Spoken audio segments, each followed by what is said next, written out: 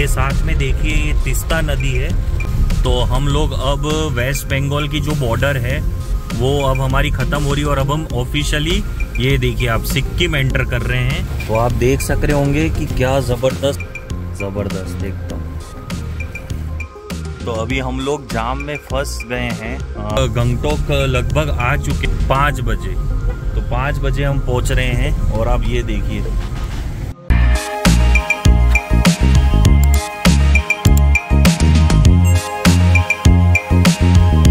Hello viewers welcome to our channel तो मैं और आरती आज आपके सामने लेके आ रहे हैं एक व्लॉग्स की सीरीज़ और हम जा रहे हैं दोनों सिक्किम ट्रिप पे और अब हम आपके सामने लाएँगे मस्त, ज़बरदस्त वाले सिक्किम के व्लॉग्स तो जैसे आपको पता है कि सिक्किम है नॉर्थ ईस्ट इंडिया के एरिया में आता है और अभी हम मॉर्निंग में मुंबई के टी वन जो टर्मिनल वन एयरपोर्ट है डोमेस्टिक वहाँ पर आ चुके हैं और वहाँ पे आके हम सुबह अभी लगभग साढ़े छः बज रहे हैं और साढ़े छः बजे हम यहाँ पर अभी पहुँच के सिक्योरिटी चेक इन कर चुके हैं और आठ बजे की हमारी फ़्लाइट है मुंबई से बागडोगरा। तो अगर आपको सिक्किम जाना है तो सिक्किम आप गंगटोक जाएँगे और गंगटोक जाने के लिए आपको बागडोगरा नियरेस्ट एयरपोर्ट पड़ता है सिलीगुड़ी का। तो अभी हमारी बागडोगरा की फ़्लाइट है जो कि तीन घंटे की होगी इंडिगो की फ़्लाइट है। तो मैं और आरती सिक्योरिटी चेक इन कर चुके हैं। अभी हम लोग लॉन्च एक्सेस करने वाले हैं।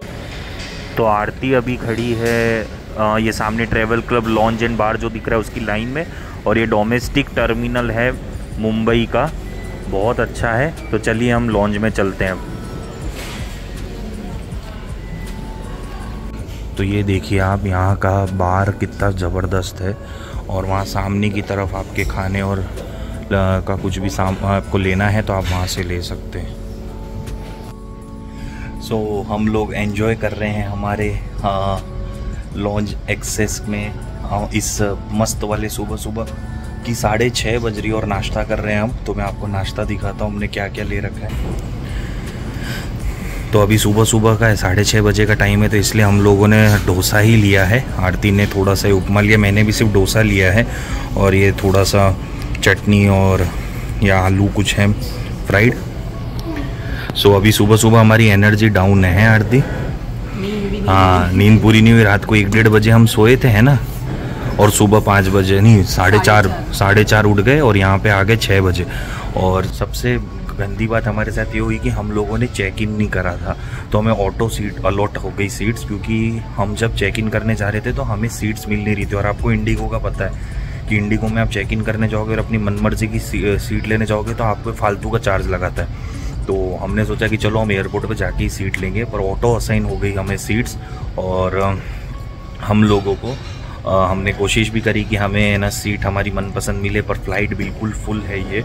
और यही सबसे है ना सही फ़्लाइट है। अगर आपको बागडोगरा जाना है और अगर आपको गंगटोक जाना है, क्योंकि हम 11 बजे पहुँचेंगे और आगे हम आपको और बताएँगे कि हमने वहाँ पे कैब वैब कैसे बुक कर रखी इस पूरी सीरीज़ को आप देखना सिक्किम वाली, जिसमें आपको एक से बढ़ के एक हम जगहें दिखाएँगे और आप है ना खुद इस ट्रिप को कैसे कर सकते हैं। तो आरती और हम लोग पहले नाश्ता कर लेते हैं और फिर आपसे मिलते हैं सीधा फ़्लाइट में। जैसा होगा आपको आगे बताते रहेंगे तो इंडिगो की ये फ़्लाइट फुल है अभी बागडोगरा जाने के लिए।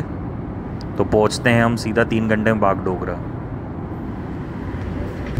तो फाइनली आफ्टर थ्री आवर्स ये देखिए नीचे, सिलीगुड़ी शहर जो है west Bengal north west Bengal का वो दिख रहा है। और अब हम कुछ ही देर में बागडोगरा एयरपोर्ट पे लैंड हो जाएँगे। सो आ चुके हैं हम अब एयरपोर्ट पे। तो अभी हम लोग बैठे हैं कार में और अभी चार घंटे हमें ड्राइव करके गंगटोक पहुँचना है। तो हम लगभग अगर जाम नहीं मिलता है, क्योंकि पहाड़ी रास्ता रहता है तो जाम नहीं मिलेगा तो तो हम चार घंटे में पहुँच जाएँगे मतलब तीन बजे तक तीन सवा तीन तक, नहीं तो देखते हैं आगे कब तक पहुँचेंगे। और हम दोनों और आरती आपको बता दें, पहली बार अभी तक हम लोग कलकत्ता मतलब वेस्ट बंगाल में आए हैं। तो ये नॉर्थ ईस्ट के इंडिया में पहली बार हम लोगों ने अपना कदम रखा है और ये वेस्ट वेस्ट बंगाल का नॉर्थ पार्ट है। और थोड़ी देर में हम सिक्किम स्टेट में एंटर करेंगे, और बाद में। तो बेसिकली एयरपोर्ट तो गंगटोक में भी है बट गंगटोक के एयरपोर्ट में इश्यू ये रहता है कि अगर वेदर क्लियरेंस नहीं होता है तो वहाँ पे अधिकतर फ्लाइट्स वेदर अगर अच्छा नहीं होता है तो नहीं उड़ती उस तरफ़। तो सब लोगों के लिए अगर सिक्किम जाना है तो नियरेस्ट बागडोगरा एयरपोर्ट है। तो ये जो पूरी सिक्किम के हमारी ट्रेवल है ये बेसिकली हमारा आ, कितने? फाइव डेज़ ना? नहीं फोर डेज़ का बेसिकली ट्रिप है, क्योंकि एक दिन तो हमारा आने जाने में ट्रेवलिंग में चला जाएगा तो फोर डेज़ में हम लोग ईस्ट और वेस्ट दोनों तरफ़ का जो पार्ट है सिक्किम का वो एक्सप्लोर करेंगे। आपको हम बता बताएँगे कि हमारे साथ हुआ क्या है। इश्यू ये हुआ कि हम लोगों ने नॉर्थ सिक्किम के लिए प्लान कर रखा था बट हेवी रेनफॉल के कारण नॉर्थ सिक्किम में आपको परमिट लगता है। तो वो मैं आगे आपको हम वीडियोस में बताएँगे क्या हुआ। तो हमें वो परमिट नहीं इश्यू हो पा रहा था। तो इसलिए हमें लास्ट मोमेंट पे कल ही हमको है ना, हमारे ट्रिप का है ना, पूरा प्लान चेंज करके ईस्ट और वेस्ट सिक्किम करना पड़ा। तो अभी हम एक एक हर एक ब्लॉग आप देखते जाइए, ये सीरीज़ ये ना, जो पूरा है ना आने वाले जो चार पाँच व्लॉग्स जितने भी व्लॉग होंगे, उसमें आपको बहुत ज़बरदस्त हम, है ना एक एक चीज़ अच्छे से डिस्क्रिप्ट मतलब वो कहते हैं ना डिटेल में पूरी चीज़ें आपको बताएँगे। तो अभी तो ये सिलीगुड़ी भी अच्छा खासा मतलब बड़ा शहर है। तो जो हमारा आखिरी दिन होगा इस ट्रिप का, वहाँ पे हमारा स्टे सिलीगुड़ी में ही है। तो वो तो हम आपको आगे बताएँगे। तो अभी हम धीरे धीरे इस, हम आगे बढ़ते हैं रास्ते पे। आपको आने वाले जो मस्त एकदम रास्ता है वो भी आपको बताएँगे। थोड़ा रुकेंगे बीच में कहीं पे तो और आपको जानकारी देंगे। तो ये इंडिगो की फ़्लाइट सबसे अर्लीस्ट फ़्लाइट होती है मुंबई से जो आठ बजे निकलती। है इसके बाद की फ़्लाइट शायद ग्यारह बजे की है ना हम्म। मुंबई से। तो तीन ही फ़्लाइट है पूरे दिन में नॉन स्टॉप जो है मुंबई से। तो सबसे बेस्ट यही रहती है कि आप आठ बजे वहाँ से फ़्लाइट कैच करिए ग्यारह बजे पहुँच जाइए और गंगटोक के लिए निकल जाइए। So welcome to Sikkim trip. मैं अभी बताया मनोज मनोज जी ने कि है ना जो गंगटोक है वहाँ पे तो पिछले पाँच छः दिन से बरसात हो रही है पर यहाँ पे आने का सबसे अच्छा सीज़न अगर आपको सिक्किम विज़िट करना है तो अब, आ, मार्च एंड अप्रैल मंथ बहुत अच्छा होता है। हम लोग तो ऐसे ही है ना एकदम रेंडम प्लान करके आए। हमने सोचा कहीं जाना है हमें कोई ऐसी जगह समझ नहीं आ रही थी तो हमने यहाँ का ट्रिप बना दिया। तो अभी तो जैसे थोड़ा सा मानसून सीज़न रहता है तो सिक्किम में आप नॉर्थ सिक्किम तो नहीं जा सकते और जाना भी नहीं चाहिए क्योंकि लैंडस्लाइड्स का इशू है तो, तो और आ, हम लोग हमेशा खुद ही है ना ट्रिप पूरी प्लान करते हैं होटल से लेके हमारी कैब और सब कुछ तो आपके लिए बहुत फ़ायदेमंद रहेगा ये एक्सपीरियंस तो अब हम लोग सिलीगुड़ी शहर को क्रॉस कर चुके हैं और आप देखिए रास्ता कितना सुंदर होता जा रहा है। दोनों तरफ़ बहुत ही हरियाली है और हम उम्मीद यही करते हैं कि रास्ता इतना सुंदर हो कि सफ़र करने में आनंद आ जाए। बस ये है, यहाँ पर एक्चुअली आपका यहाँ से सिलीगुड़ी से आप दार्जिलिंग डायरेक्ट जा सकते हैं 80 किलोमीटर से और आपका गंगटोक 120 किलोमीटर पर लगते हैं आपको चार घंटे इसलिए क्योंकि ये सिंगल लेन रोड है और सिंगल लेन रोड पे अगर कभी ट्रैफ़िक जाम लग जाता है तो भी ज़्यादा टाइम लगता है और सिंगल लेन रोड के कारण थोड़ा पहाड़ी इलाका है तो इसलिए आपको इतना टाइम लगता है। तो नेचुरल जो आपकी ब्यूटी है, वो तो बहुत अच्छी है यहाँ पे और हम लोग आराम से एंजॉय करते हुए जा रहे हैं। भले ही हम सुबह के पाँच बजे के नहीं, साढ़े चार बजे के उठे हुए हैं, पर अभी फ्रेश लग रहा है बिल्कुल।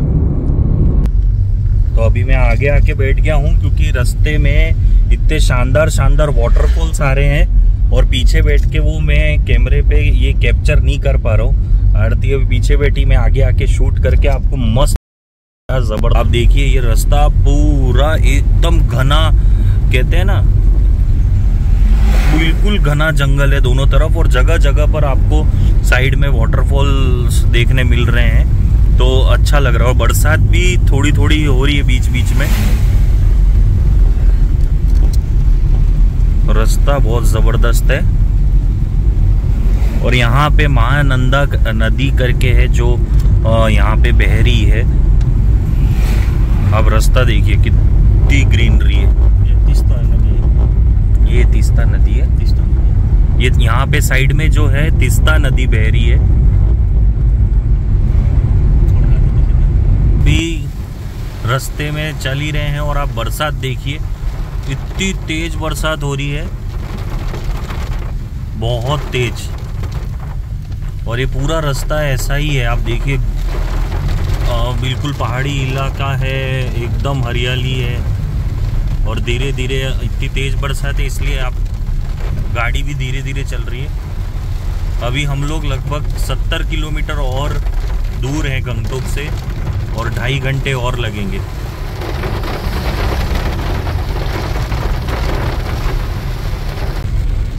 ये साथ में देखिए, ये तिस्ता नदी है जो साथ साथ ही चल रही है और बरसात इतनी तेज हो रही है। और ये जो तिस्ता नदी है ये गुरु डोंगमर लेक जो है सिक्किम में, नॉर्थ सिक्किम में, जो कि वर्ल्ड की सबसे हाईएस्ट लेक है, ये वहाँ से ओरिजिनेट होती है व्यूअर्स और बरसात तो ताबड़ तोड़ हो रही है। पिछले 20 मिनट से ये बरसात एक ही स्पीड पे हो रही है। ये हम लोग बैठे हैं शर्मा होटल में और मैं अकेला आया हूँ यहाँ पे अंदर, क्योंकि आरती को ये पहाड़ी रस्तों में ना खाने का मन नहीं करता। रहा हूँ, देखिए। मैंने ऑर्डर करा है आलू पराठा। तो इन्होंने आलू पराठा के साथ दिए है। ये ये कहना कुछ छोले मटर जैसी कुछ सब्ज़ी है। ये आलू की सब्ज़ी है, ये दही है और ये अचार है।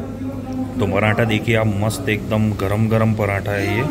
देखिए आप। और ये है इसका एंट्रेंस तो आरती तो खड़ी है। और हम लोग, मैं थोड़ा सा नाश्ता कर लेता हूँ। अभी मतलब नाश्ता के एक तरह से लंच ही, क्योंकि दोपहर के दो बज गए हैं, अभी भी हमें डेढ़ घंटा और लगेगा। तो फिर आगे और मिलते हैं हमसे तो अभी हम लोगों ने ब्रेक लिया था लंच ब्रेक जैसे तो ये किरने करके एक जगह है बीच में आती है, और बरसात इतनी हो रही है कि आप बाहर निकल के इतना शूट नहीं कर सकते हो, सामने ही आप देख रहे होंगे। तो बरसात का ही पूरा माहौल दिख रहा है यहाँ तो और ये साइड में देखिए आप कितना घना पूरा जंगल जैसा है।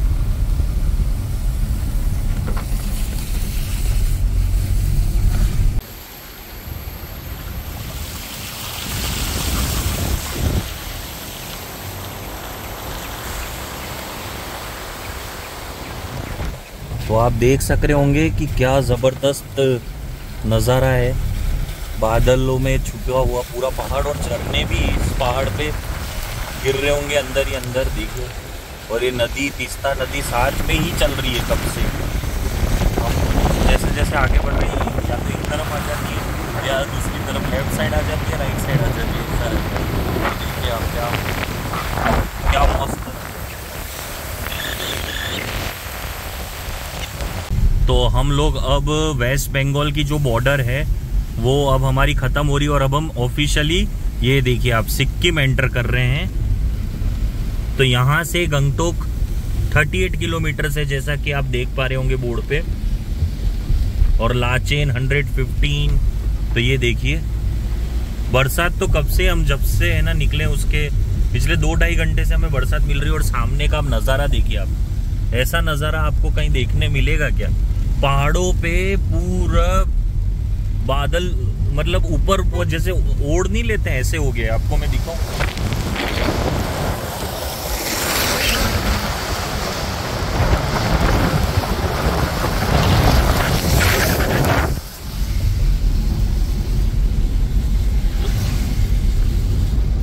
बहुत ही ज़बरदस्त व्यू आ रहा है। तो अब हम सिक्किम में एंटर हो चुके हैं और आपको अब सिक्किम के नज़ारे दिखाएँगे। तो ये अब इस रास्ते पे हमें पहली टनल मिली है। तो बहुत ही ज़बरदस्त मौसम है, क्या बताऊँ मैं व्यूवर्स अभी टनल के अंदर बरसात नहीं गिर रही है तो अच्छा है, पर अभी टनल के उधर मेरे को लगता है अलग ही टाइप की सीनरी दिखने वाली है।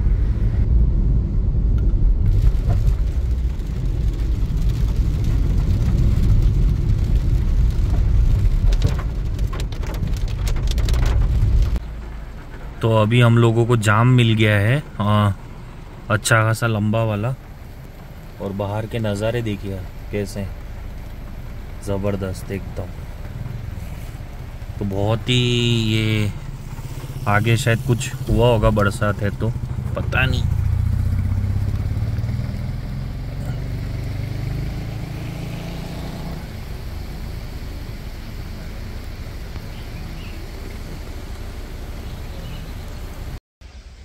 तो अभी हम लोग जाम में फंस गए हैं। अभी यहाँ से गंगटोक सिर्फ़ 25 किलोमीटर है, पर इतना लंबा जाम लगा हुआ है, आधे घंटे से हम यहाँ अटके पड़े हैं, क्योंकि कुछ लैंडस्लाइड टाइप हुआ है। तो लैंडस्लाइड के कारण आप देखिए पीछे और आगे की तरफ़ हो गया मौसम भी ऐसा है आज, आप देखिए पूरा को ना मतलब बादलों में, है ना, ये वैली जो है, ये पूरी ढकी हुई है। आप देखिए।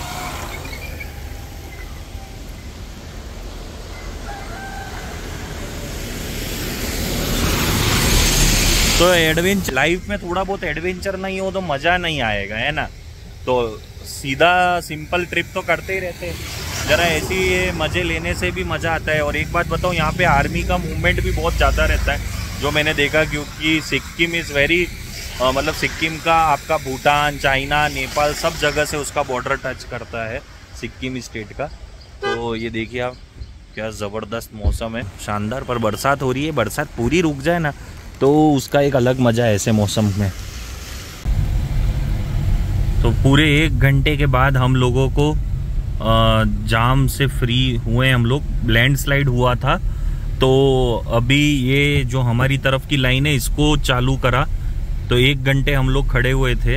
अब जाके बरसात भी बंद हुई है। नहीं तो हमें कार के बाहर, मैं तो कब से, है ना, घूम रहा था अम्ब्रेला लेके। और ये देखिए, सामने वाली अभी लाइन बंद है जाने के लिए। तो यही कम से कम दो तीन किलोमीटर हो गए और ये लाइन अभी तक चालू है।